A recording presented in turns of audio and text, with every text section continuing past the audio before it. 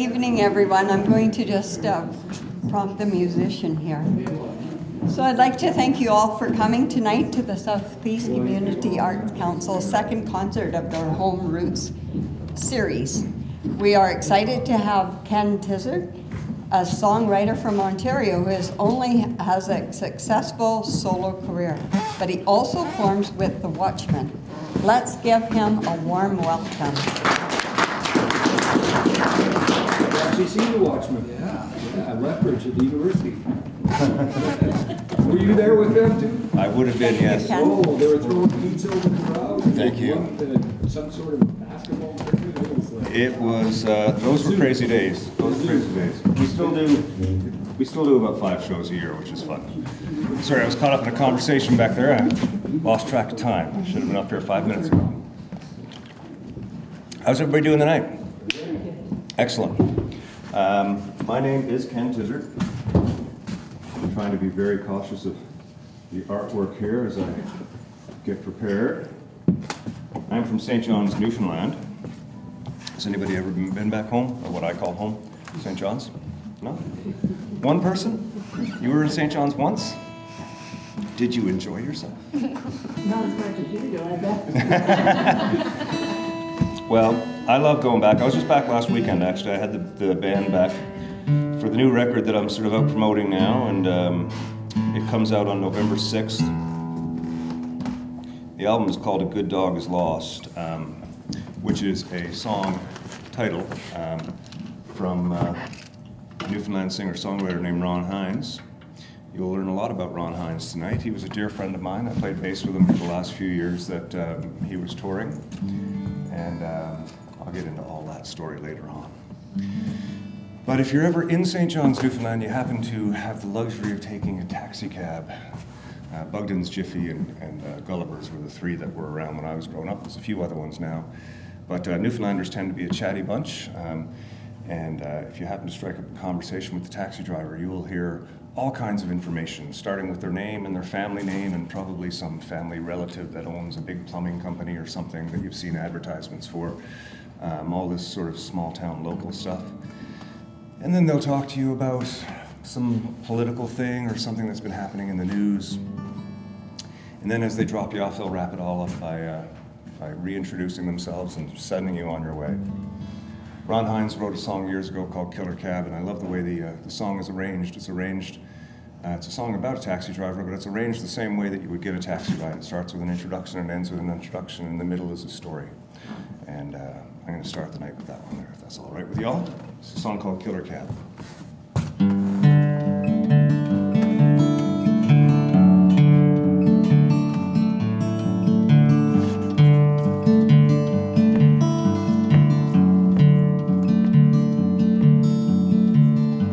Taxied up and down this town since 1954. Wore out ten or a dozen cars over 30 years or more. Drove the other side of midnight to the clear edge of dawn.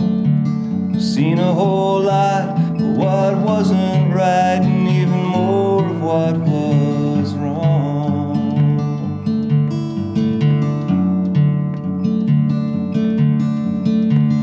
man jumps in my cab one night.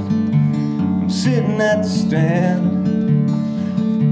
He slumps down in the back seat with his face down in his hands.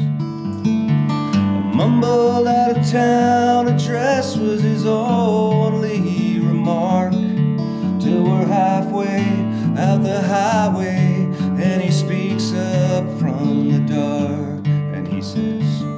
I can find no comfort in this night.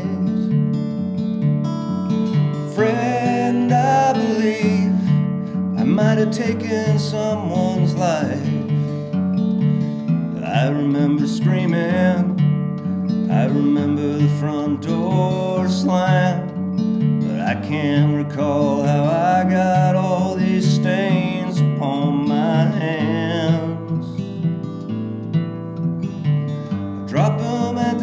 shack. He's the picture of despair. I Can't remember what the meter read or if he even paid the fare. All I recall is a sweet relief. I was halfway back to town when a police cruiser with a flashing light was flagging me down.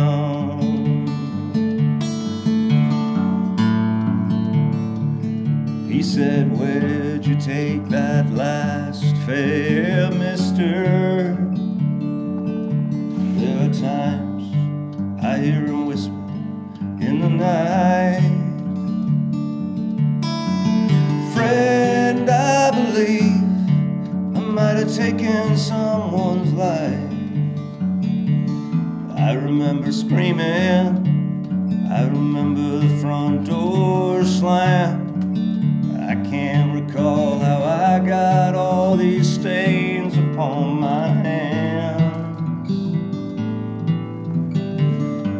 Taxied up and down this town since 1954. Wore out ten or a dozen cars over 30 years or more. Drove the other side of midnight to clear edge of dawn. Seen a whole lot of what wasn't right and even more of what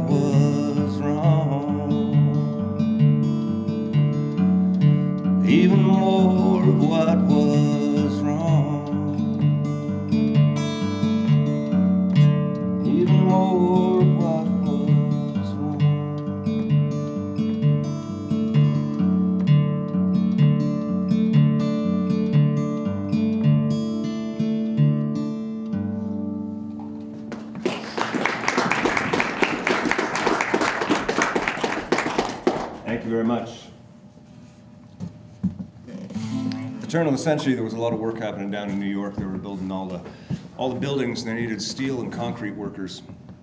And um, Newfoundlanders uh, back then were, uh, were always up for some work and some travel. And a lot of the, uh, you know, the Brooklyn Bridge and uh, Empire State Building and those buildings, a lot of those buildings and, and structures were put together by Newfoundlanders.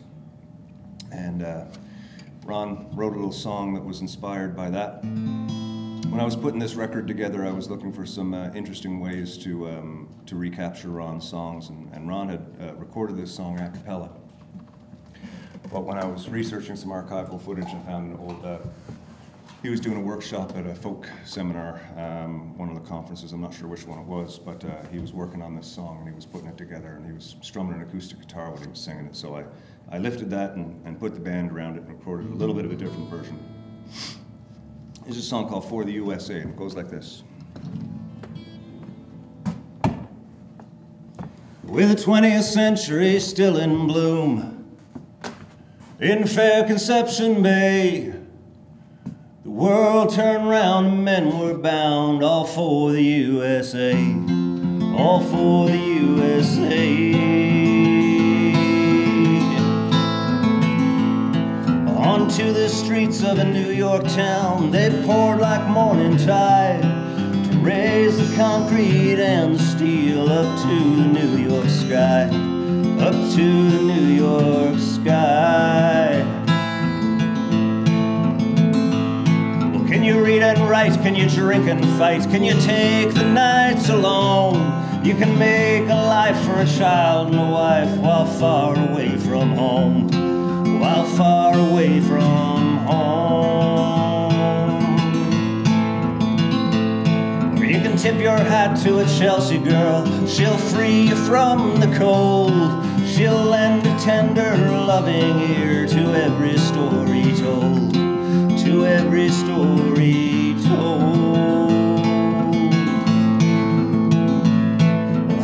got the hands? Have you got the heart? Have you got the cold steel nerve? You can rant and roar on a New York floor and you'll get what you deserve. You'll get what you deserve.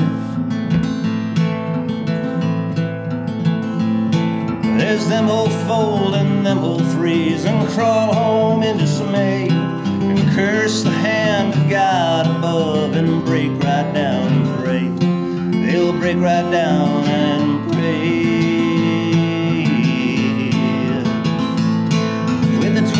century still in bloom in fair Conception Bay. The world turned round and men were bound, all for the USA, all for the USA.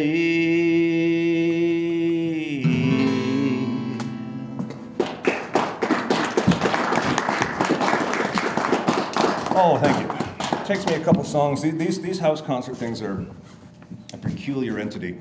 Um, I, I, and I really appreciate the communities that, that keep them alive because it's, it's a great opportunity as a singer songwriter to get to tell the stories behind where everything comes from.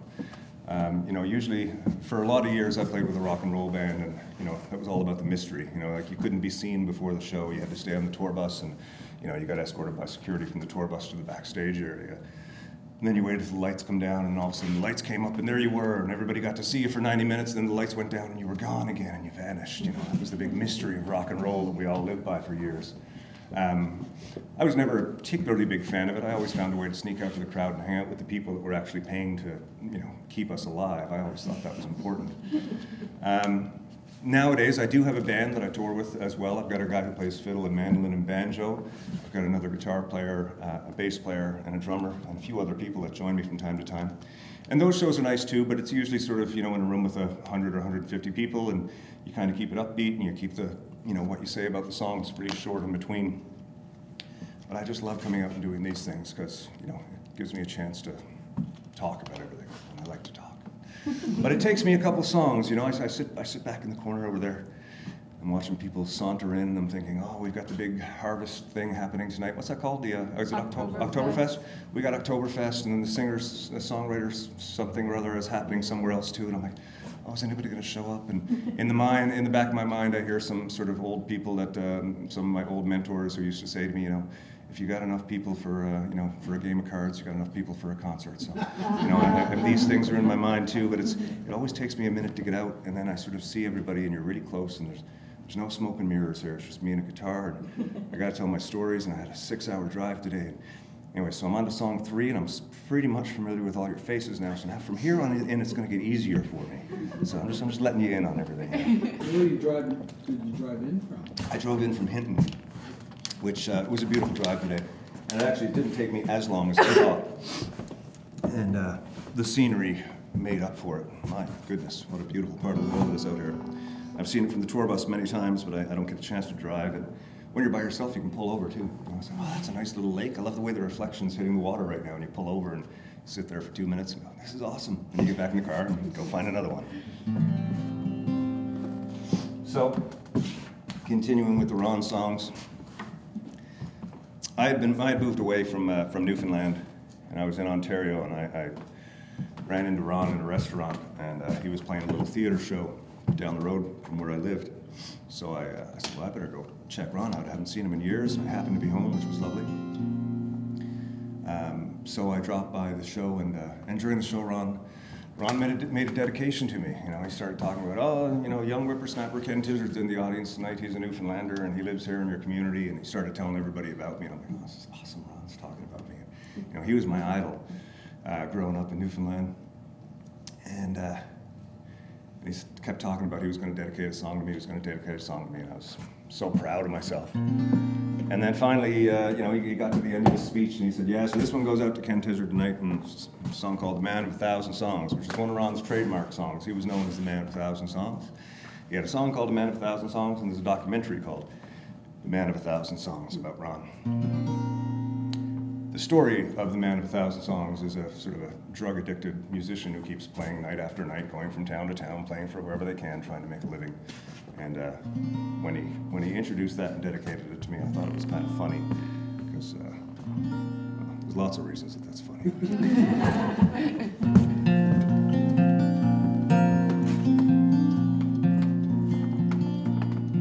He's got a crimson red tattoo keeps it hidden just above his t-shirt sleeve. It's a broken heart and the inscription reads, no love songs if you please. But he don't really mean that, it's his only cheeky tongue. He stands up and sings for them every night, he's the man of a thousand songs. He knows the streets like he knows his last name. He knows the city from the wrong side out. He knows that time is cruel and any man's a fool who hides the truth behind his mouth. He knows the Duke of Earl, he knows my girl in the house of the rising sun. And the opening line on his marquee sign reads the man thousand songs. He knows an old hotel with a desk clerk will sell you your soul back reasonably cheap. Oh, this guy you can call when you crawl in a wall and the whole town's asleep. He don't promise what he don't deliver. He keeps it all in. He don't dream beyond his expectations, but he's got the stance down to a T. He's got a friend in the backstage alley, got just the thing to make the night move along. He's taking all requests like you might have guessed. He's the man of a thousand songs.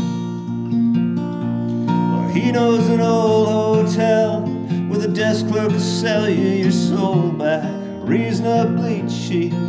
Or this guy you can call when you're crawling a wall and the whole town's asleep. He don't promise what he don't deliver. Uh, He keeps it all in the easy keys. He don't dream yet his expectations, but he's got the stance down to a T. He's got a friend in the backstage alley, got just the thing to make the night move along. He's taking all requests like you might have guessed. He's the man of a thousand songs. Whoa, whoa, he's the man of a thousand songs.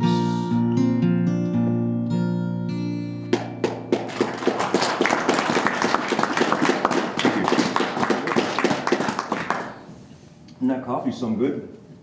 I don't know who made that, but they know what they're doing. well, When I was a teenager, what's that? When I was a teenager, I was um, I was into punk rock music. I played in a punk rock band, and um, in the late '70s, early '80s, if you were into punk rock, you were probably into skateboarding as well. And uh, you're looking at the 1983 Newfoundland and Labrador skateboard champion right here. Yep, we didn't do much back then, but uh, somehow I managed to win a competition that was held. And um, St. John's is like a bowl, you know. Uh, and in the bottom of the basin is this little piece of water, and there's a little place you can get in through the crags and the rocks. And then the city builds up around it like that. And then it comes out, and then it flattens out, and then it goes down again. There's a few more dips. But the whole of St. John's started in this little tiny harbor and built up from there. And I lived sort of up on the top here. My buddy Clark lived on the top over here, and almost every day uh, we'd skateboard and we'd, we'd make our way downtown slowly. By, by midday, we'd be downtown, and then we'd have to figure out what to do from there because it was all uphill once you get down there. And one of the most beautiful things about downtown St. John's when I was growing up was that the harbor had flat concrete all around us. You could go out on the dock, and there was this big, huge piece of flat concrete, and you could skateboard down there. And this would have been the, like I said, the late 70s, early 80s. We probably had three channels on the TV still, if I remember. I think we'd graduated to a color TV. Uh, I know we'd graduated from a party line at the house, so we had, you know, the telephone we actually was dedicated to our house. We weren't sharing it with the neighbors anymore, and that was nice. Um, but there was no internet. There was no, uh, not a lot of bookstores. There wasn't a lot of exposure to the outside world. You know, it was potatoes and turnips and carrots and cabbage, and on the fruit side, it was apples and oranges and a banana if you were lucky. Um, and I didn't know much of the outside world at all. But when I was skateboarding down on the dock in St. John's, Newfoundland, I would meet fishermen from around the world, primarily um, the Russians, the Portuguese, and the French. And me and my buddies would be down there skateboarding, and they'd come out in the day, and they'd, you know, we'd trade cigarettes with them. They'd give us one of those sort of terrible uh, Russian cigarettes, and we'd give them one of our, you know, Export A. And uh, we'd end up chatting, and sometimes they'd take us on the ships, and they'd give us a little tour, and we got to see how everything worked. And occasionally they'd give us a little bit of salt fish that they had cured for their trip. And you know, I, I remember one time me and my buddy Clark got, uh, got on one of the ships and the guy had given us a, a full flake of, hal- of halibut, this big triangular piece that was cut in half. I remember skating, skateboarding home across St. John's carrying this big piece of salt fish. My dad was happy as anything when I got home with it though, because that was hard to come by. But that was my only exposure to the rest of the world, and, and we're, you know, hearing people speak in different languages and talk about what it was like in different parts of the world. That was the only exposure I had. You know, we had an encyclopedia set at the house, but you know, that was uh, that was barely opened. A few years back, I went home for a visit, and my buddy Clark, uh, me and him are still good friends, and he always picks me up at the airport and we go for a drive. We go down through Quidi Vidi and we go up Signal Hill and we do all the sort of sights. And when we got down to the harbor, we turned the corner, and there was this huge chain link fence going the whole length of the harbor. Um, they were going through some security issues, trying to figure out, you know, being an international port, if it's if you're allowed to be on the harbor and all that, and they decided that you know you weren't allowed to go out on the harbor anymore as a, as a pedestrian. So they had this massive chain link fence, and it was ugly, you know, the ugly gray chain link fences. And it was taller than me. I mean, it had to be eight foot, and it went on for the whole length of the harbor. And I remember being very disappointed by that and pretty angry about it too. And I thought, oh, I'm going to write a big protest song about this. And, I realized I was too old for angry protest songs. Um, and I twisted the whole time I was home. I twisted and turned with this. You know, I went down to Quidi Vidi, which was, uh, you know, they call it the Gut, which is another part of uh, town, and, and it's where they, they used to have the old sort of um, the old stages and the old fishermen's uh, huts that were on stilts in the water. And they were being torn down, and there was new houses going up and new development. And the church that I used to go to had been turned into condominiums. And this trip just really left me with a, with a terrible sort of feeling of everything was changing that, that I had known. And when I started writing, that was sort of my, my initial intention was sort of anger and sadness. And um, as I wrote this song that I'm going to play for you now, it sort of morphed more into a, um, a reflection on how nice it was to grow up in St. John's when I did grow up there, and, um, and how lucky I was as a child to have the experiences that I did. This is a song, it's off my uh, second last record called No Dark, No Light. This song is called Home. It goes like this.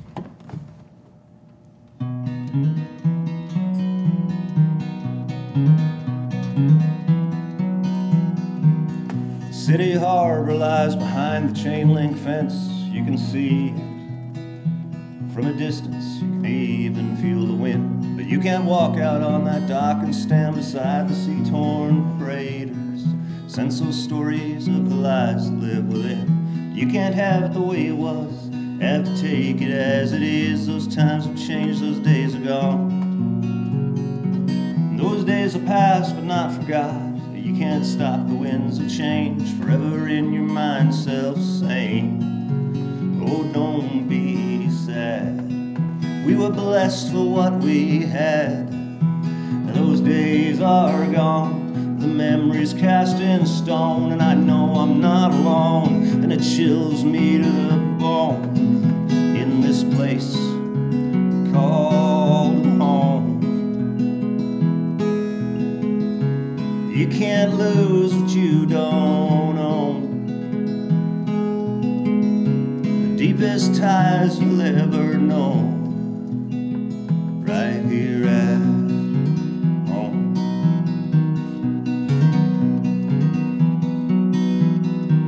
Down Water Street, the storefronts changed a few blocks north. Who'd ever blame? To fight against this change and waiting game. How many words can twist and burn like spark to hay? No further down, no further down this hurting old time road You can't have it the way it was, have to take it as it is. Those times have changed, those days are gone. Those days are past but not forgot. You can't stop the winds of change forever in your mind, self same. Oh, don't be sad. We were blessed for what we had. Those days are gone, the memories cast in stone, and I know I'm not alone, and it chills me to the bone in this place called home.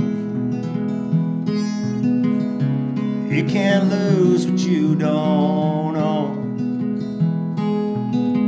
The deepest ties you'll ever know hurt so bad to let you go. And I thought that I just came to say hello to this place called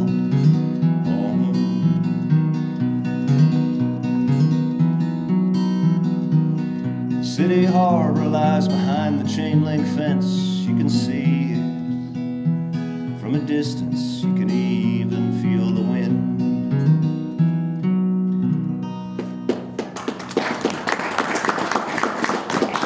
Thank you very much.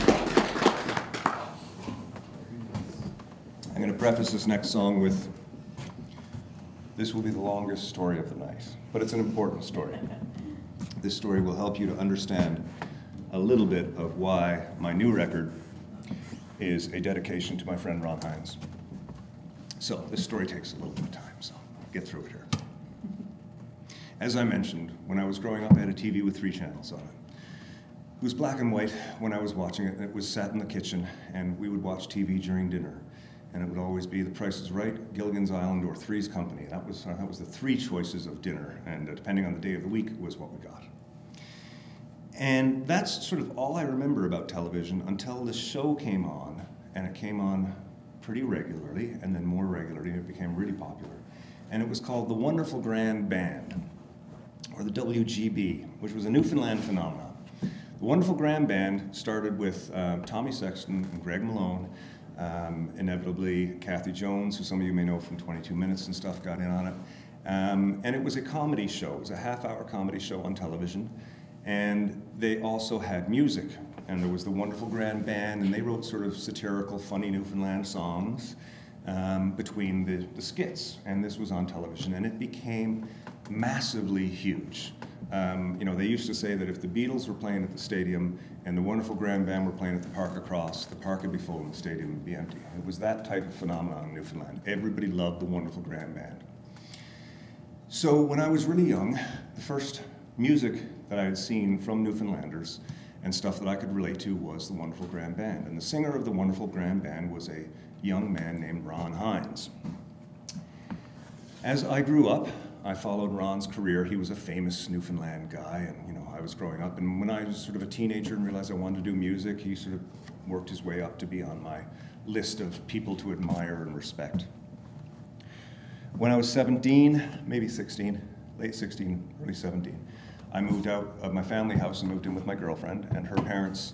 Um, her parents were good friends with Ron and Connie Hynes. So once a week, or you know, once or twice a month, I'd end up having dinner and uh, Ron Hynes would be sitting across the table from me. And I was a young punk playing in punk bands and doing all my stuff, and you know, Ron was this sort of famous Newfoundland singer. And um, we didn't have much of a relationship other than we knew each other, but it was exciting for me to get to know this gentleman. Years go by, I left Newfoundland. Uh, Ron continued his career as a singer songwriter. Um, I moved to Toronto, joined a band, started touring, spent 25 years doing 280 shows a year. Um, occasionally, I'd be in an airport and I'd look across and I'd see the hat. You know, Ron had a hat that he wore. And I'd see the hat and I'd think, geez, that's got to be Ron over there. And I'd walk over, Ron, and sure enough, it was Ron. And hey, Ken, how you doing? We'd have a little catch up and a little chat, and that was all great. So we kind of stayed in touch, but we weren't ever close. and about eight years ago, Ron had been battling cancer. I'd been hearing about it.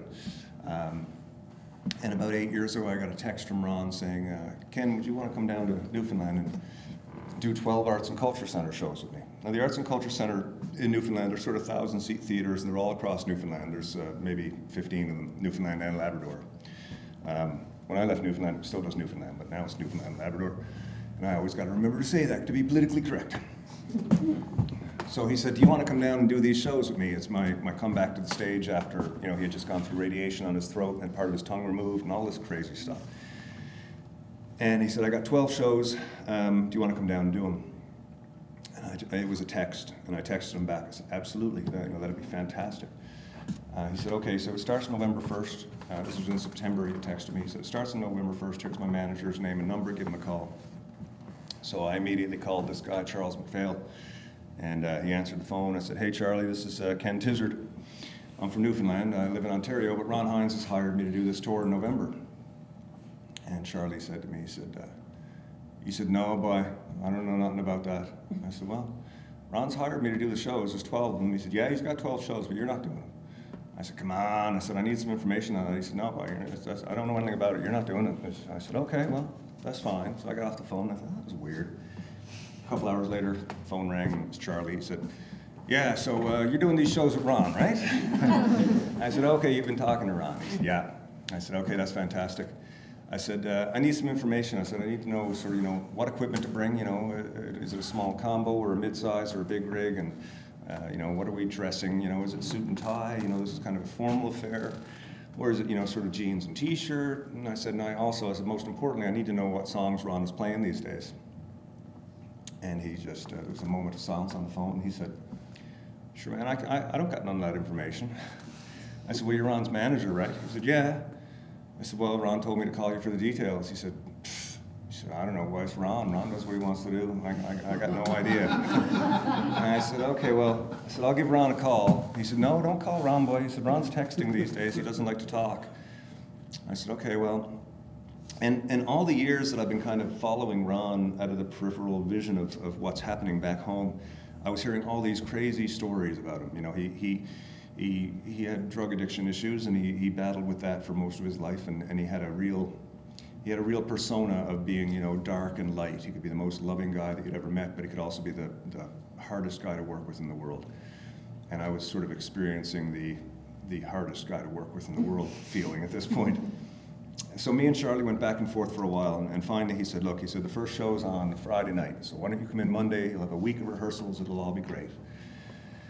And i said okay Meanwhile, I'm pretty nervous because I'm going to get the chance to play with the you know Newfoundland legend. Uh, you know, if you go down on George Street in Newfoundland, which is the big drinking street with all the bars, there's a big bronze statue of him in, in the middle of the street with his you know holding his old uh, J200 guitar. So I was pretty nervous, but I, I, I managed to find 130 Ron songs recorded, and I made charts for all of them. And I had them in this black leather binder, everything alphabetized and little tabs around so I could get to songs quick. So I went down on Monday. No rehearsal, no phone call. Tuesday rehearsal, found out it was canceled. But then Tuesday lunchtime, I got a text from Ron. It says, pick me up at the Delta, we'll go have lunch. I said, excellent. I'm gonna figure out what's going on now. So I go down and I pick Ron up at the Delta, and he gets in the car and, and we go down, we go down to a little restaurant called, uh, um, name's Loon Rocket, sorry, Rocket Bakery, which is a fantastic place for lunch if you're ever in St. John's. And we walk in, and, and the layout of the room is similar to this, a little bit longer, but you walk to the end, and the lineup comes back out to the front, and then you go grab your table after you've ordered your food and picked it up. But Ron bypassed all that because, you know, he's Ron Hynes, he's the king of Newfoundland. So he just walked in, he looked behind the counter, and he said, two bowls of chowder, two orders of fish cakes, two coffees, and two waters. And then he walked off to a table, and I was just standing there going, yeah, I guess that's what I'm having. So I followed Ron. And we got over, and Ron opened his little bag that he carried over his shoulder, and he pulled out a newspaper. And he opened up the newspaper full size, you know, this big, between the two of us. And for 30 minutes, we sat there and ate our lunch, and I stared at the grocery specials while Ron read the newspaper. No conversation at all. And then uh, he folds up his newspaper and he says, Yeah, that was a good lunch. I'm done now, so uh, why don't you run me back up to the hotel? I said, Sure, that's, that's not a problem. I said, But we're going to talk about the tour and the show and what's going on? He said, No, why? He said, What, what do you need to know? I said, I don't know. What are we playing? He said, uh, he said, well, he said, we'll, we'll get to all that, don't worry. He said, one thing though, I forgot how tall you are. So I'm gonna want you three feet over to my right and five feet back sitting down. And I said, okay, and that's a bit of a weird request, but that's fine. Um, that was the only information he gave me. And he said, uh, he said, we'll have a rehearsal, rehearsal Wednesday night, come down to the Delta. So I arrived at the Delta and I go down to the conference room for a rehearsal, and uh, Ron shows up an hour late.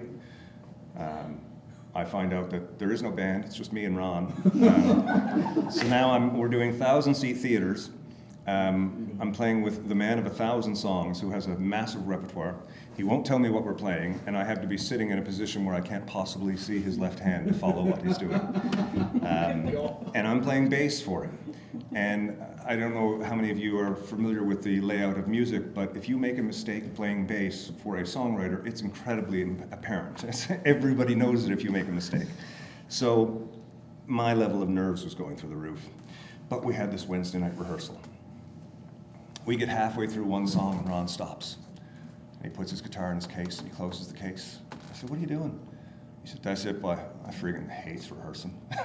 I, said, I said, We did half a song, Ron. He said, Yeah, you played that half all right. I said, Ron, come on, man, you got to give me something here. He said, Nah. He said, well, well, Friday night will be fine. He said, I wouldn't have hired you if I didn't think you could do this. I said, I, I appreciate the vote of confidence, man, but like, really, this is. He said, Don't worry about it. And he went on. So Friday night, we're um, we're just 10 minutes from uh, from going on stage. I think it was in Marystown was the first show. And this is Ron's return to stage. Like Newfoundland has rallied behind him. When Ron got cancer, there was fundraisers at the stadium. Every band played. They raised all this money to help him get through it. Um, the whole of Newfoundland was behind him. And, um, and this was his return to stage after that. And uh, I was, I'd never been so nervous in my life. You know, I'd been all across the world playing for, you know, some shows I played for up to 60 or 70,000 people at some big, comp- big festivals and stuff. I've been on TV, I've done the Tonight Show with Jay Leno, all these crazy things. And I'd never been as nervous as I was going on stage with Ron Hynes. So he comes into the dressing room about 10 minutes before showtime and he says, uh, What do you got in that book of yours there? I said, Well, and I opened it up and there was 130 songs written out and they were all alphabetized and they were all numbered and they were all color coded. And he just looked at me and went, Jesus, he said, I've never seen anybody do anything like that. I said, Well, I said, Here it is. I said, What do you want to do? And he went, Okay, well, tonight we're going to do We'll do that one, that one, that one. What key did you learn that one in? I said, Well, you, you recorded that in E flat. He went, Hmm, I don't do it in E flat anymore. He said, Did you learn all these songs the way I recorded them? I said, I learned them the way you recorded them, in the keys you recorded them. He went, I really don't do them like that anymore, and I don't do them in the same keys either. I said, Okay. I'm getting more and more nervous all the time. I said, Ron, I said, what's the first song? I said, let me get out and get comfortable. Like I told you tonight, it takes me a couple songs to get comfortable and then it's fine. I said, what do I, I said, I need one song just to get comfortable. He said, well, he said, why don't we start with House? And I said, House is a great song, I love it. Uh, House is off an album called Stealing Genius, which is a great place to start your Ron Hynes exploration if you feel like it. I said, House. I said, okay, what key do you want to do it in? He said, what key did I record it in? I said, you recorded House in D. He said, okay, we'll do House in D. He said, will that help you get, get comfortable? I said, yeah, absolutely. He said, okay. So we walk to the side of the stage, the house lights go down, standing ovation, everybody's applauding, everybody's teary eyed in the audience, you know, it's, it's a crazy emotional time. And we walk out, and Ron stands in front of the audience and says, Good evening, ladies and gentlemen. And he turns back to me and he says, House in D, right? I went, Yeah, House in D. And he winked at me and he turned around, and I'm thinking, This is going to be great. And he started playing. I went, That's not House. and halfway through the first, chord, first verse, I went, He's playing 1962 in the key of C. and I realized at that moment that Ron Hynes was going to make my life hell for the next 12 shows. Um, and that was the way he worked. Now, I'd been at that point playing music for over 25 years, and I can tell you in the three weeks that that tour, well, a little over two weeks that that tour happened, I learned more about how to listen to another musician than I'd learned in my entire history. And I used to pride myself on being the guy in the band who listens to everybody else, because I think that the person who listens is the most important member of a band, because you're the one who's not getting in the way of everything. But working with Ron was one of the hardest things I've ever done. But he knew I could do it, and he had faith in me, and it helped me become a better person and a better musician, and we inevitably became very, very close friends. And uh, I worked with him for, you know, the better part of a couple years after that, up till he died. Um, and I'm going to play for you right now the first song I ever played with Ron. This is a song called 1962. It goes like this.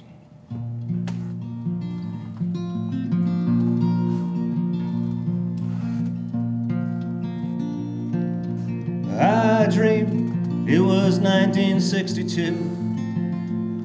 I dropped a quarter in the jukebox and I played a song for you.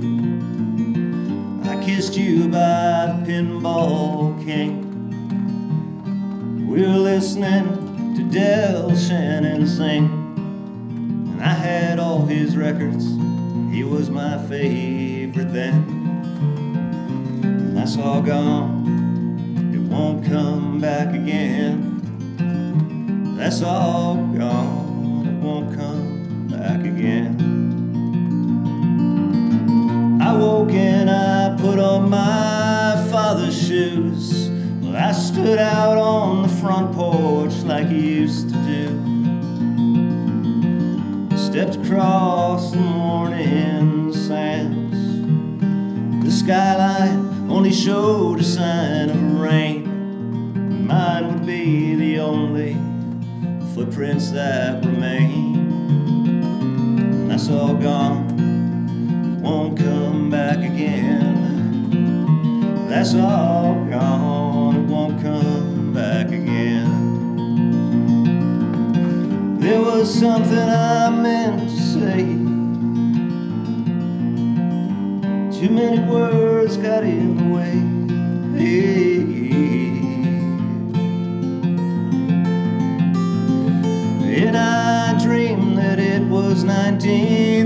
1962. I lit a fire on a beach and I lay in the sand with you. We sang songs until the rains would come. Straight across the fields we would run. You wrapped your sweater around my first guitar. I walked you home. That's all gone won't come back again. That's all gone, it won't come back again. There was something I meant to say. Too many words got in the way.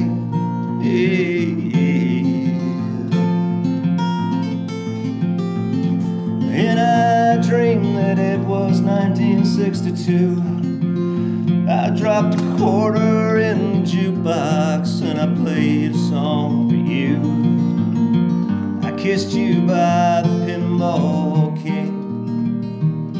We were listening to Del Shannon sing. And I had all his records. He was my favorite then. Well, him and Brian Wilson, that's all gone. It won't come back again. That's all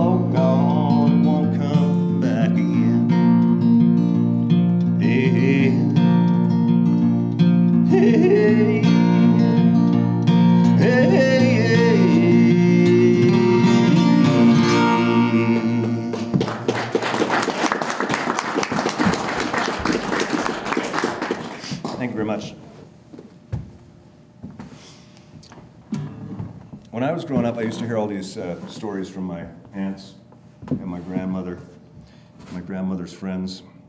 There's a wives' tale that if you happen to perish at sea while fishing um, or being on a crew of a boat, um, you would have the opportunity to come home and visit your family on the night of your death. And I heard so many stories about, you know, oh, you remember that? We all just walked in, and Uncle Joe, he was sitting over there in the corner by the fireplace, and then he was gone, and then the next day we got the call that he died the night before. And everybody had all these stories, you know. It's one of those wives' tales that really spread around and really stuck, stuck with the culture of Newfoundland.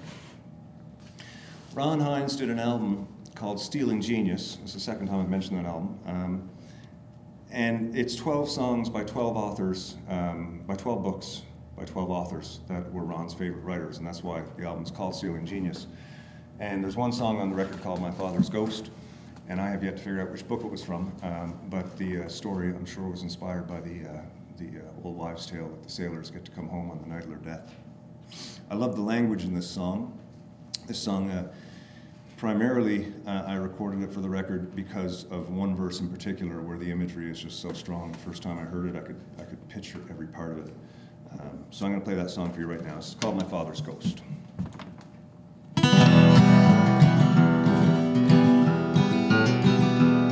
He was sitting on the stairway, my heart filled up with dread. His hands were clenched, his clothes were drenched. I knew that he was dead, and I turned away a moment. When I looked back, he was gone. And I went and I woke my mother. I said, Mother, something's wrong. Something's wrong.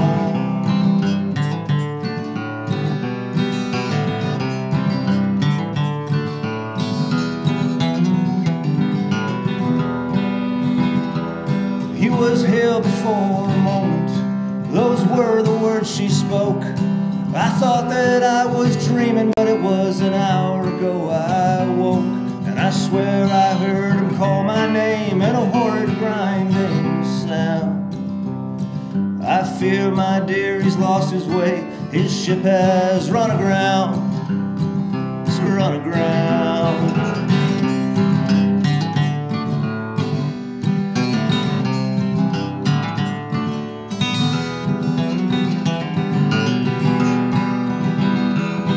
Go down and wake your brother and your baby sister too.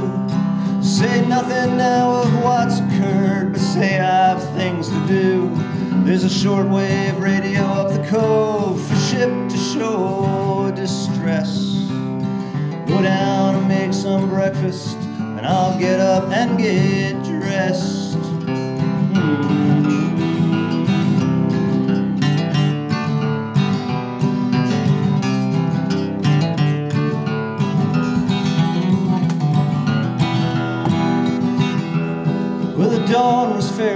Breaking as she headed down the path where the waters crashed across the rocks with all its rage and wrath. But her heart had gone to ashes and the ice chewed through her bones. And her footsteps fell like granite as she came back home alone. Mm-hmm. She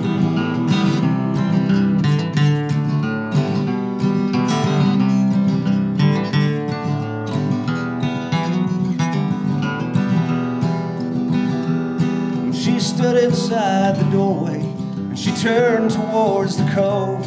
She took down the blessed crucifix and she burned it in the stove. And we all stood in the kitchen like travelers in the rain, waiting on some distant platform to board some lonely train.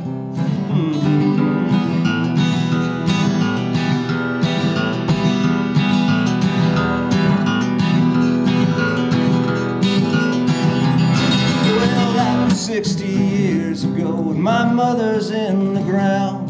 My brother and sister moved away and left me the house and land. And I sell my socks and sweaters to the tourists from away. There's a monthly old age pension, and it keeps the wolf at bay. And I count the days.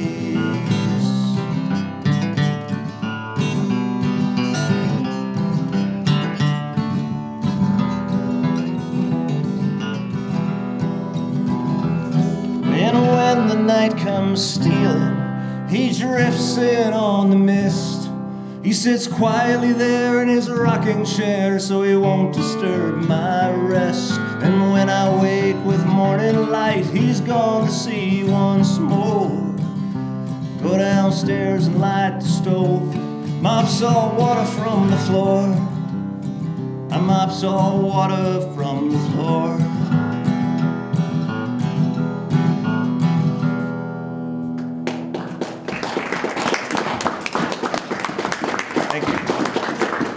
One more song and we'll take a little break. You can all refresh up on that amazing coffee or grab a bottle of water. And it looks like there's some other treats back there. And look around at some of this lovely art. There's something about playing in a place with all this art that's everything that you see took so many hours. We have no idea the hours and the labor that went into all this stuff. It's just insane. And the years that it took these people to become such craftsmen that they can actually create and build what they have. And it is awesome to play in a place like this. I gotta say, thanks for having me here. Um, I'm gonna end this set with a bit of a sad song. Um, this is a song that I wrote for a friend of mine named Ellie Kelly.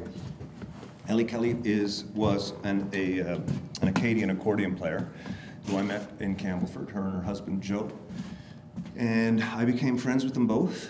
And uh, Joe got cancer, um, and uh, he had a long battle with it. I had been through it with my mother, um, and the last six weeks of my mom, uh, before my mom passed, I moved back to Newfoundland and uh, basically lived in the hospital room with her. I used to take the, the cushions off the chairs in the waiting room and set up a little bed and, and sleep in the room with her. Um, I stayed there about 22 hours a day for almost, you know, almost six weeks. Um, and I learned during that time how, how special it is to, um, to spend somebody with, uh, spend time with somebody who knows that they're dying. Um, it's a very, there's an honesty that, that happens with the conversation that that you don't experience with people regularly. Um, so when Joe got sick, I spent a lot of time with him as well. Uh, he lived down the road with me, and I used to go down in the afternoons because I know how, how long and lonely those hours can be. And we used to play cards, we played chess, and, and inevitably, um, by the end, he, you know, read the Bible a little bit. You know, neither of us were really familiar with the Bible. We used to talk about religion.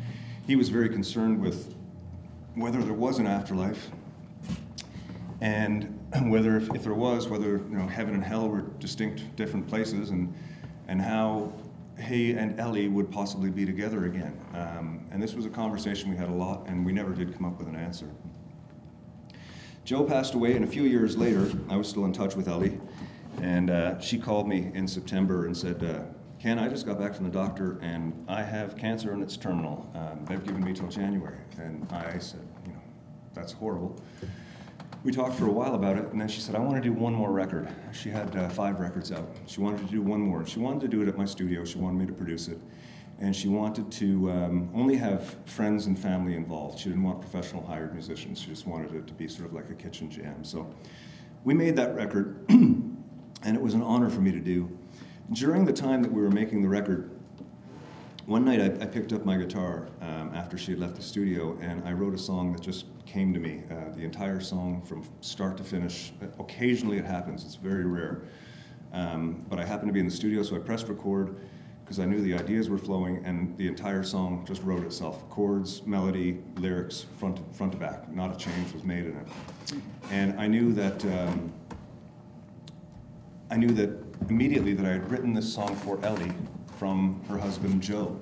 And that was a perspective in songwriting that I'd never done before, is writing a song for somebody from somebody else. So after the record was done, um, Ellie was uh, still doing well in January, so I called her and said, Ellie, I said, while we were making the record, I wrote a song, and I'm pretty sure it's for you from your husband. Um, and I'm going to be demoing it next week, and I'd love you to come play some accordion on it, you know, if you feel like it. And she, she was up for it. She came down for a couple hours and laid a few accordion tracks. It was fantastic, and she loved the song.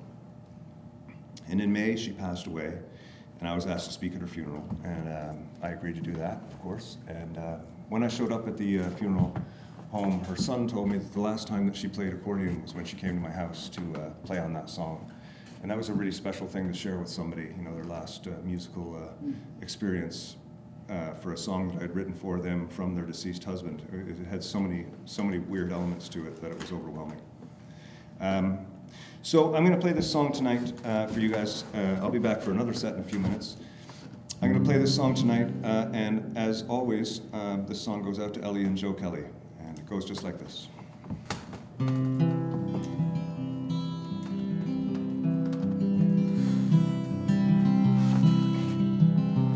Fare thee well, fare thee well. I'll see you again in heaven, or I might see you in hell. If there's nothing more, when this life is through, let it stand that I've enjoyed my time with you. On golden shores, we'll hold each other once again.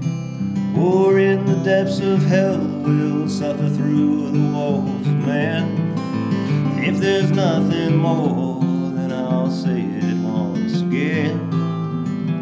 You made my life as full and bright as any man.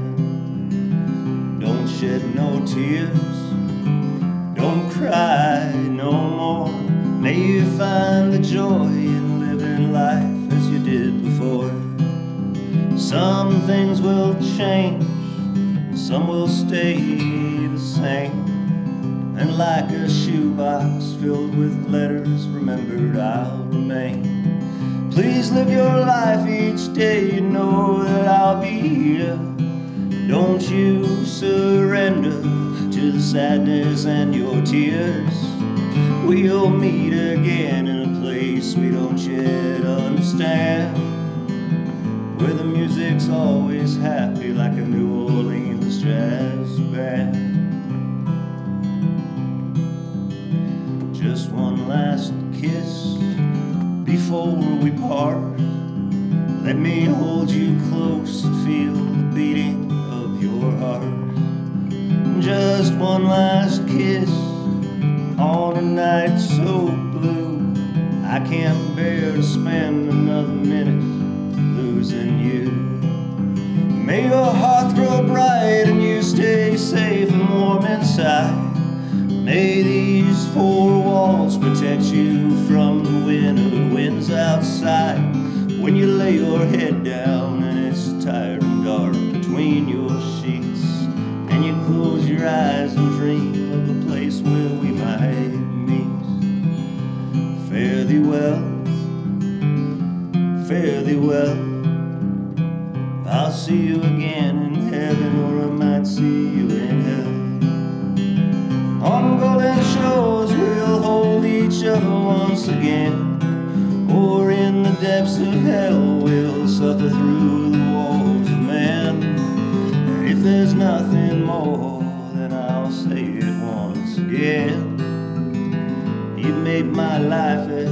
and bright as any man. You made my life as full and bright as any man. Oh, babe, you made my life as full and bright as any man.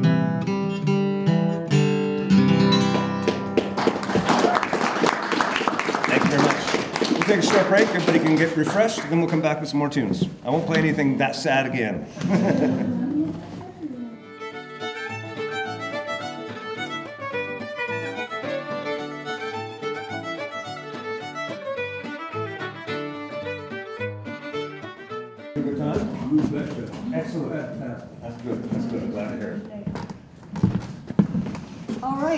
like to welcome Ken back for uh, part two of his amazing, we could, I could listen to his stories all night.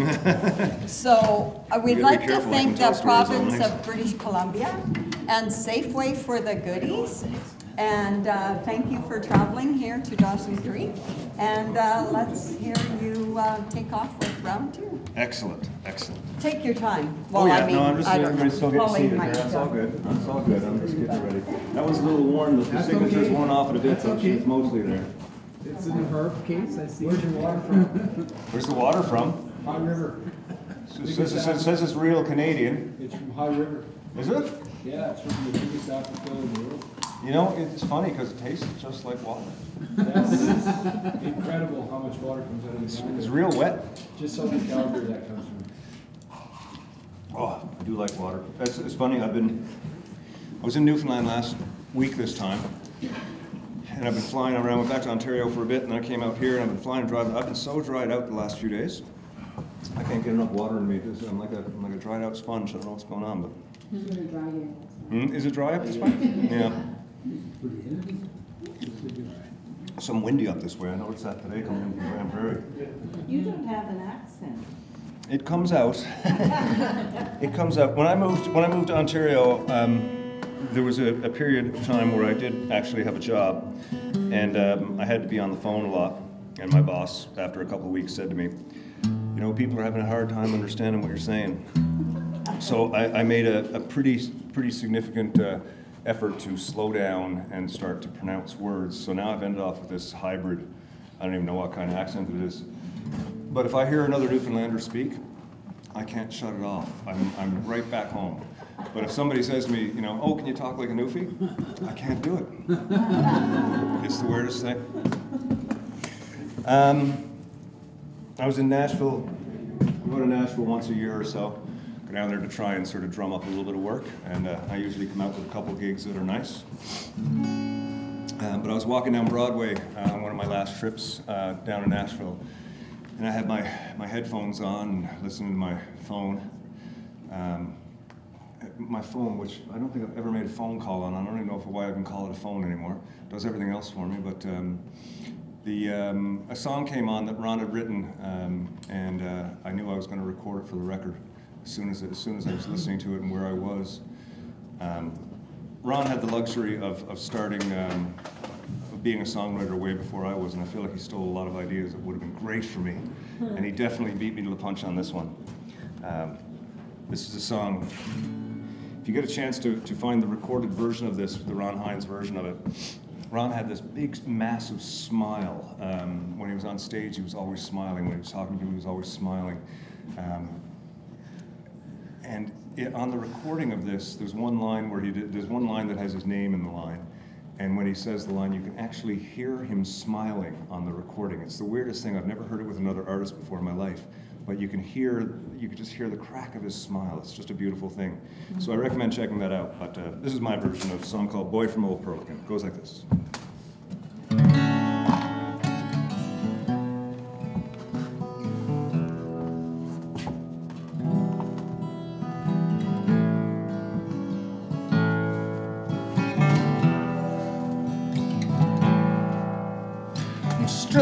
In Nashville.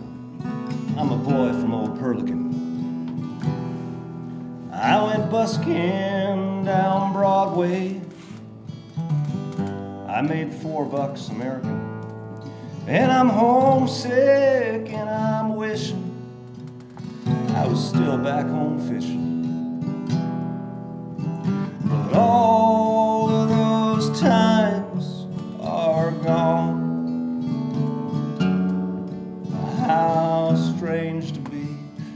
Tennessee,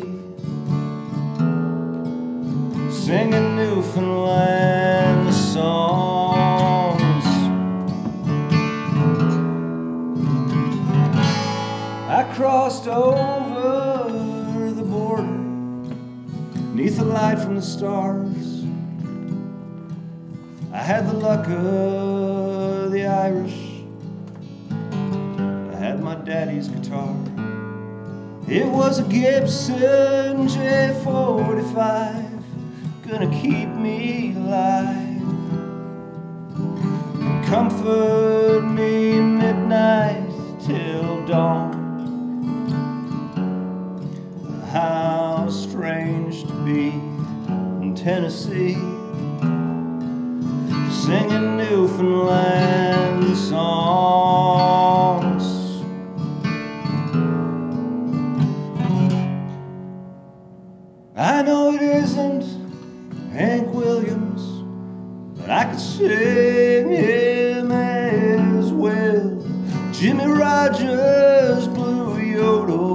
I sing lefty. Say, yeah, yeah, yeah, well, I'm a stranger here in Tennessee. I'm a boy from around the bay. Yeah, but I know how to sing, boys. I know how to play. Cause my daddy taught me, and taught me these words, taught me these chords. He taught me before he passed on. How strange to be in Tennessee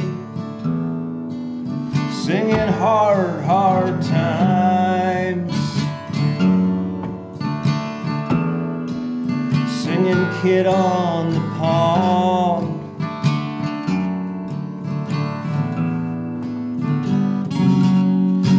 One strange consolation in these desperate times, all of these Nashville songwriters are all trying to look like Ron Hynes. How strange to be in Tennessee, singing Newfoundland songs.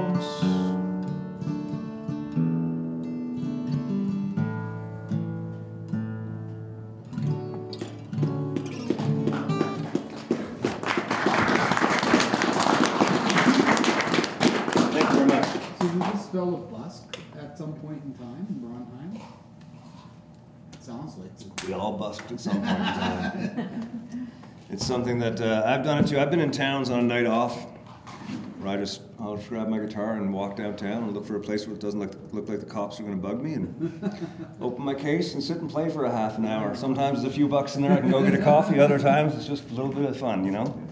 Um, I've never done busking as a profession. Uh, I know some people who have, and they actually make good money on it. You get in the Toronto subway system, you get one of those permits, you can make a lot of money on that. It's not really my scene, but uh, some people do really well with it. Ron Hynes was fascinated with cowboys and uh, outlaws and soldiers. He wrote a lot of songs about soldiers too. Um, one of the things that I learned from Ron was uh, how to switch perspective when songwriting. Uh, at one point, I was trying to write it. Me and Ron had, a day off, and we watched a Bonnie and Clyde marathon. And afterwards, I, I was going back to my hotel. It was one of those A and E marathons, like all day type thing. So at the end of the day, I said, I said, I'm going back to the hotel now, Ron, back to my room. So can I borrow your guitar? I'm gonna go do some writing because I have my bass with me because I was playing bass with him. And I always used to borrow his guitar. He said, yes, but he said, what are you working on tonight? I said, I'm gonna go write a song about Bonnie and Clyde. and he laughed and he said, no, you're not. I said, yeah. He said, kind of one of those. I said, what are you talking about? He said, go on, boy, do what you gotta do. I said, okay. So I went back to the room and started strumming a few chords and writing a few words, chords, words, chords, words, fell asleep. Woke up the next day, went for a drive, got into the next hotel, and, and when I'm writing, I do a lot of research. So I thought, well, I'm gonna do some research. So I opened up the computer, typed in Bonnie and Clyde. About three hours later, I had pages of information. And I just went, oh my God, Ron was right. There's been so many poems and short stories and long stories and short films and plays and essays, and Bonnie and Clyde have been done to death. Just, there's nothing else to say about it. And Ron knew that. Few days later, we were driving and uh, we were leaving Perth, Ontario. It was minus 40. It was a really, really bitter cold. And Ron, we were walking to the car and we were just about to get in the car, and Ron looks across the hood at me and he says, How's that Bonnie and Clyde song coming along? And he had this smirk on his face. And I looked at him, I said, You shagger. I said, You knew that, you knew that, didn't you? He said, Of course I did. And I said, Okay. And we got in the car. And about an hour into the drive, Ron was sleeping. He always sort of stayed in the passenger side and leaned his head against the window and kind of slept. Um, and as we're driving, uh, as he's sleeping, I suddenly hear him, and he's, and he's mumbling, and then he says, Stop looking at the main character. There's all kinds of people in a story, and they've all got interesting stories themselves. Turn it around and look at somebody else's perspective. And I went, What? And he was asleep. what are you saying, Ron? And he wouldn't look back at me. He, he was a weird guy like that. He just left these little nuggets. Um, and I lay in bed that night, and I, I automatically, all this, Ron, all this uh, Bonnie and Clyde information I had, twisted and turned into a story about this young girl who was waitressing in a uh, diner uh, associated with a gas station on the side uh, during one of Clyde Barrow's first robberies. And she falls in love with him uh, during the robbery and watches him in the newspapers until he dies. And I wrote this whole song about this girl. And it's really, it is a Bonnie and Clyde song, but it's not about Bonnie and Clyde. So, Ron taught me a lot about songwriting. I'd spent a lot of time writing pop music for radio. Um, you know, I knew how to get to a chorus in under 30 seconds and how to write a hook that people could sing along to. But the idea of storytelling and actually putting a story into a song was something that was new to me when I was working with Ron. And he broadened my horizons in, in so many ways. Um, this is one of his songs called Judgment that I really like because some people refer to it as the Jesse James song. But it's not actually Jesse James' song, it's somebody else in Jesse's life. Uh, it's a song called Judgment, and it goes like this.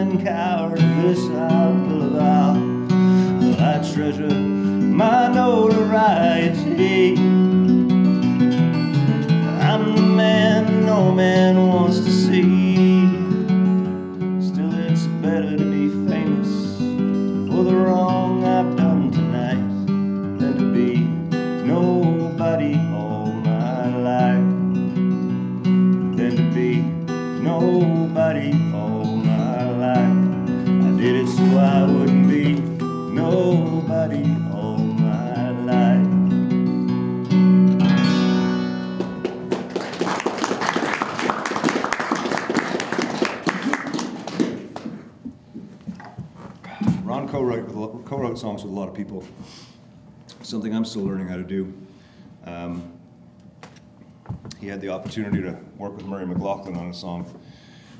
Ron used to say that uh, he had to meet Ron, he had to meet Murray McLauchlan uh, eight o'clock in the morning over on the Danforth in Toronto. And Ron said it wasn't until up, up to that day when he had to get up that early that he realized it was two eight o'clocks in a day.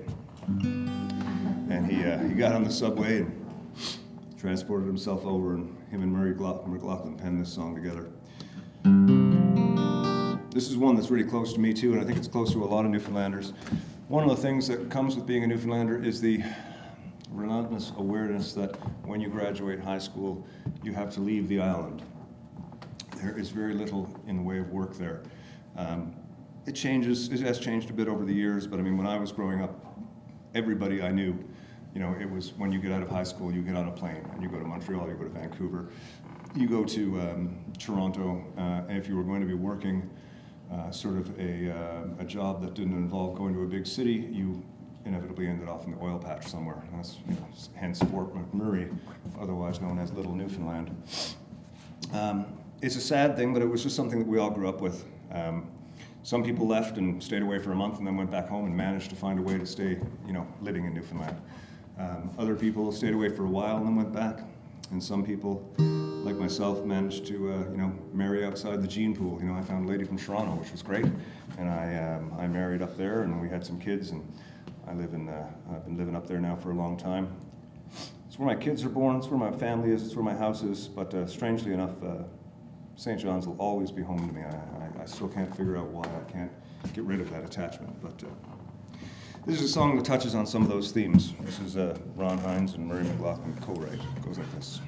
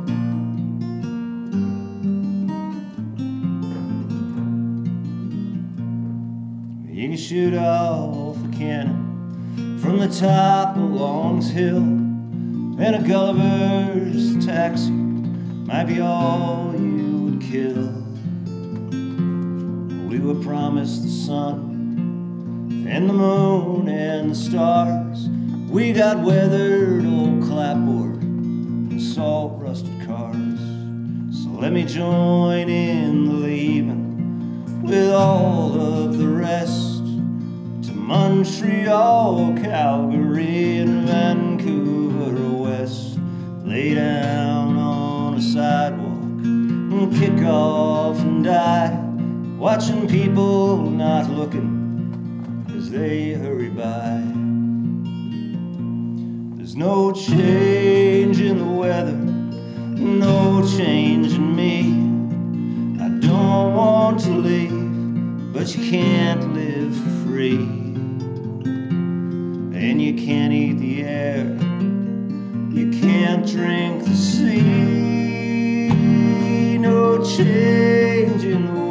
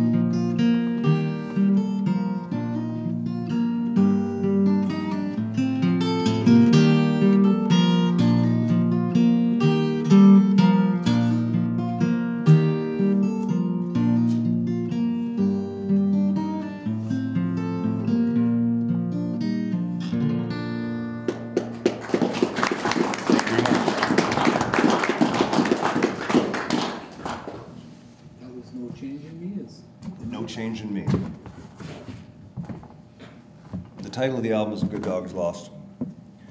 And uh,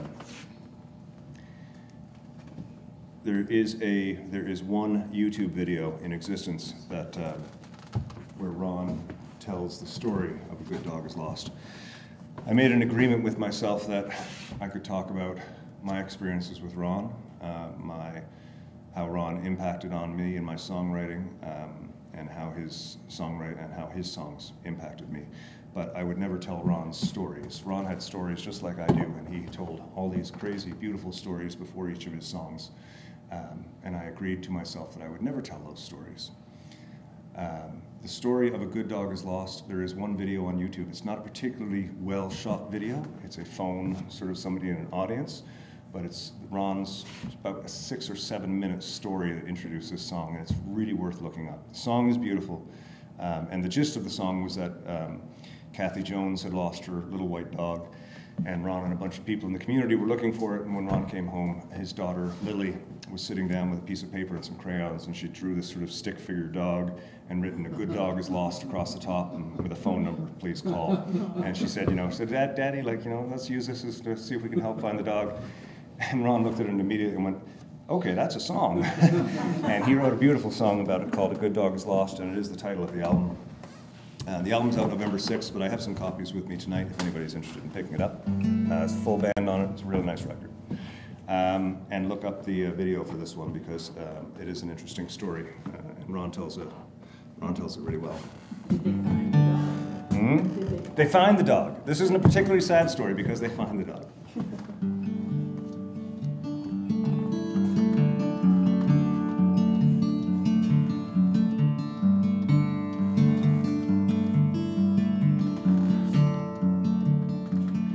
Good dog is lost.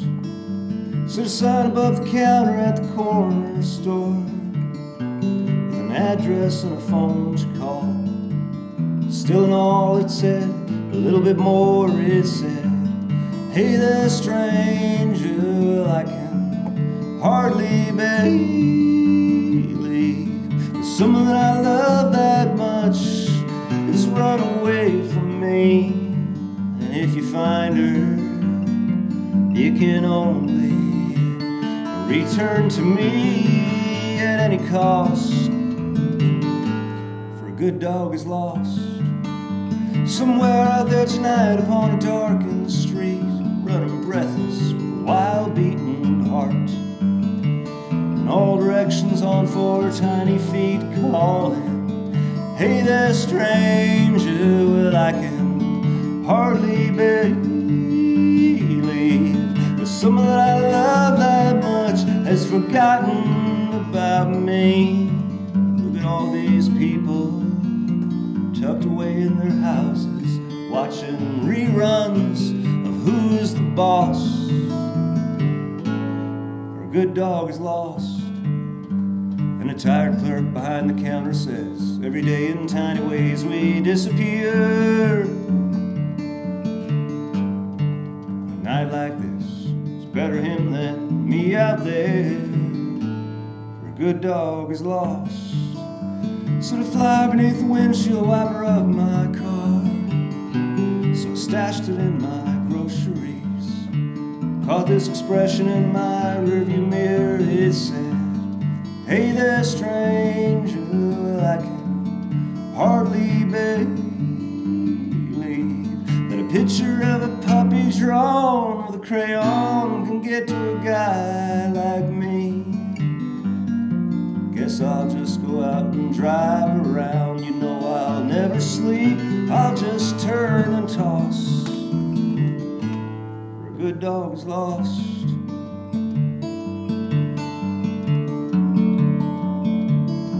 A good dog is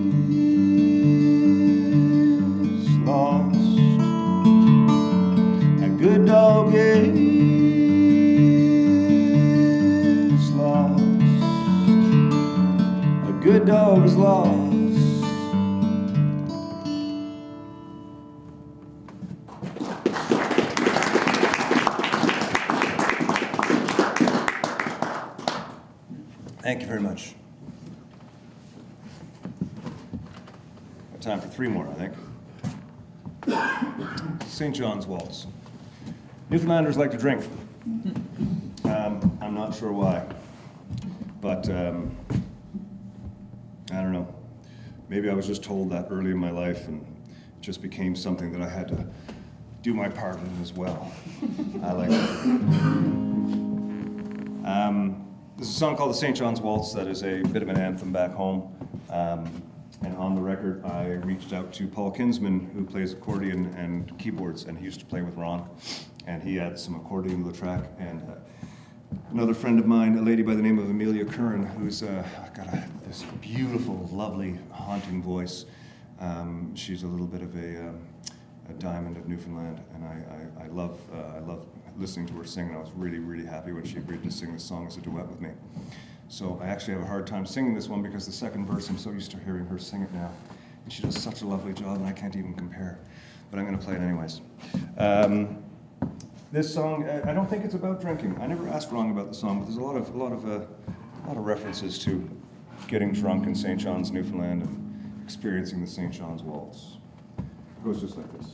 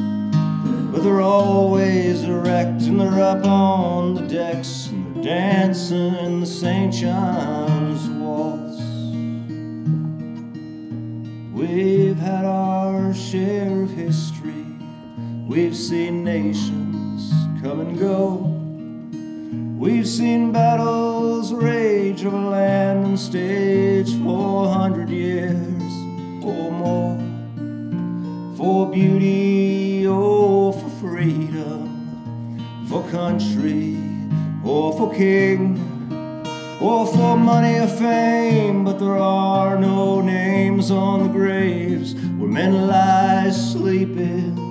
In the nine to five, survive the day with a sigh and a dose of salts. And they're parking their cars, and they're packing the bars, and they're dancing the St. John's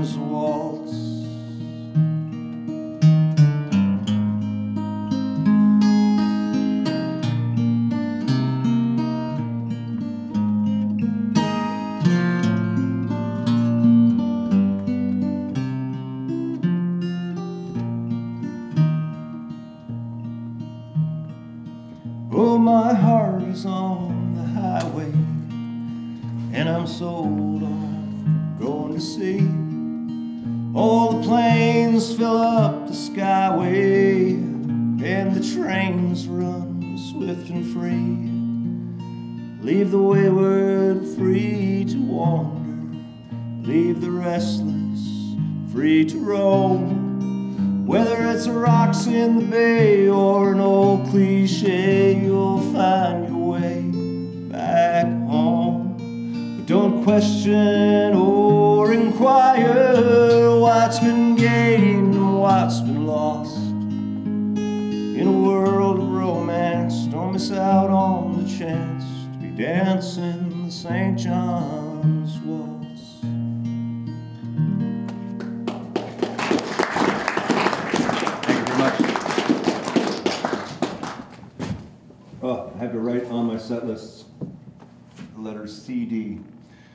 I'm such a bad salesman. I hate, I hate, I hate selling stuff. But I have CDs. I have both the new album and the old album. I have vinyl.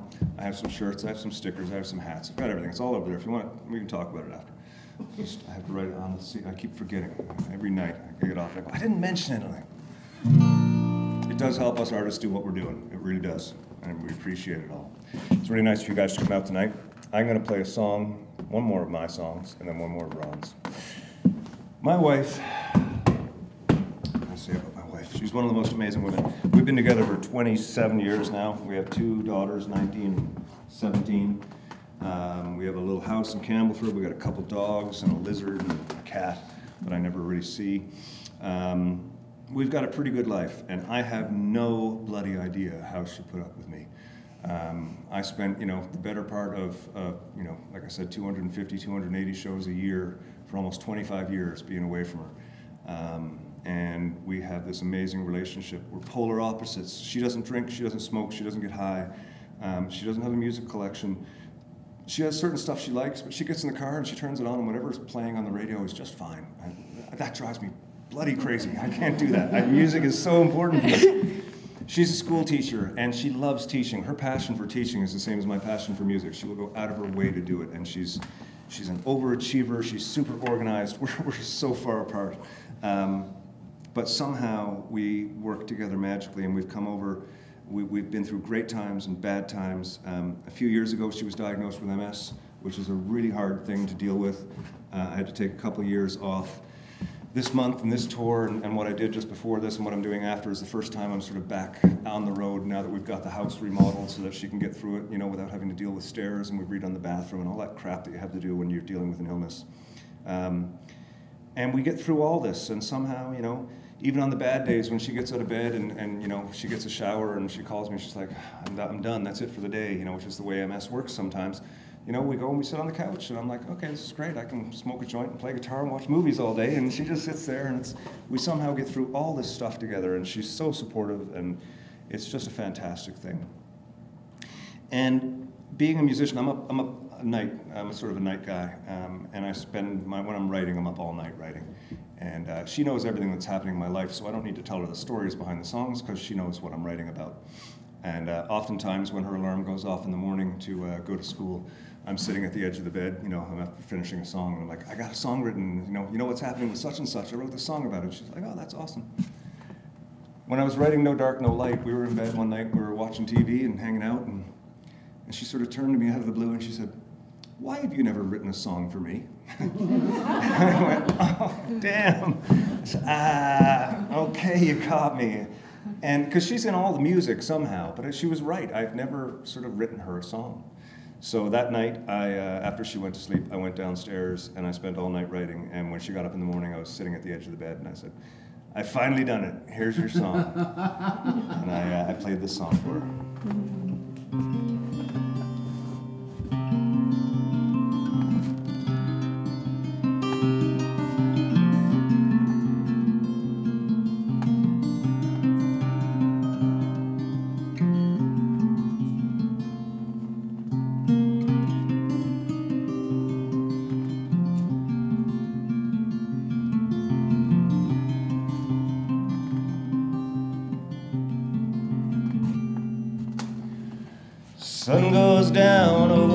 Wichita Falls. I've seen the best and I've seen them all at days, and nothing more beautiful to see. You wring your hair and you drape your clothes. The sun lights your silhouette shape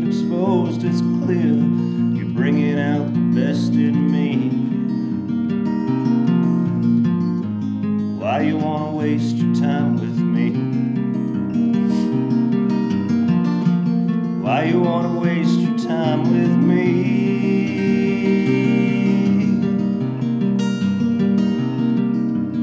Morning breaks, I haven't slept all night. The sunlight warms to your skin's delight. I'm dying just to sit here and watch you breathe.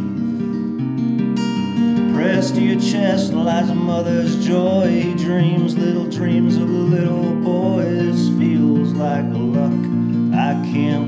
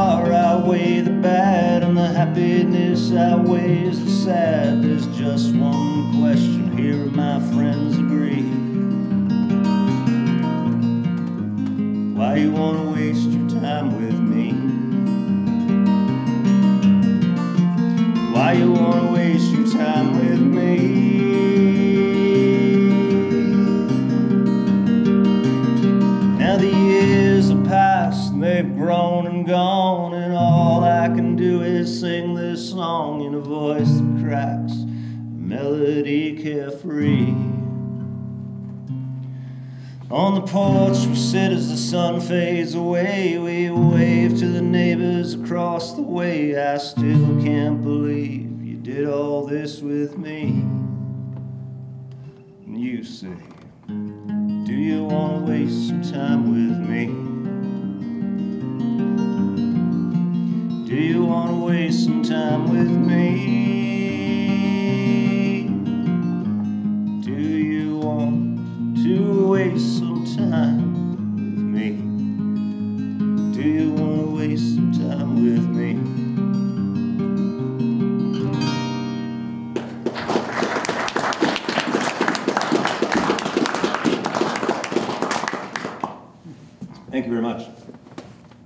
I'm going to end tonight with a Ron song.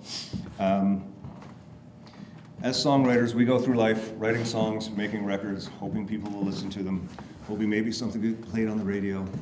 And every now and again, something clicks, and you have that song that generates enough interest in what you're doing that it allows you to continue for another year or another five years, or sometimes for an entire life. Uh, Ron had one of those songs. He had several others that kind of followed closely, but he had one song in particular that allowed him to play music and create music until he died. He played the last show a couple weeks before he died, actually the week before he died. I used to drive down, I remember driving down the highway with him, and remember him to me one point and saying, yeah, if you look over and I'm dead, just pull over and roll me into the ditch. That's where I've been spending all my time. It's just, you know, that's what happens with some of us songwriters that just spend a lifetime playing music.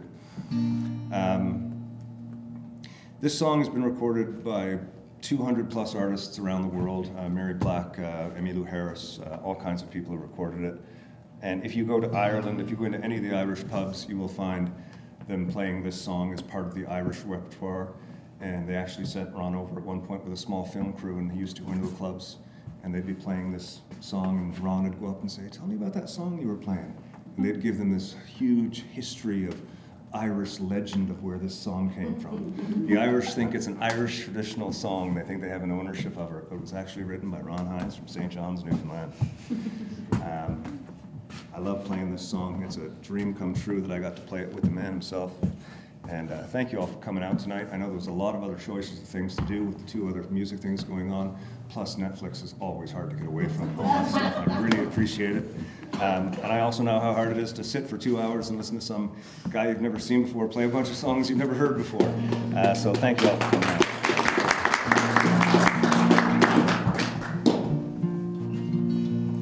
Sonny lives on a farm in a wide open space.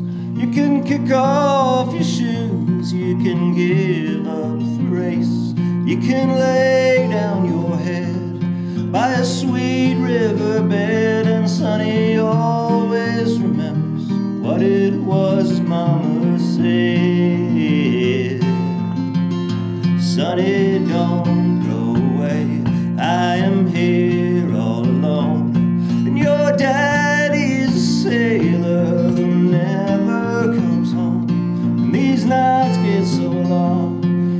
and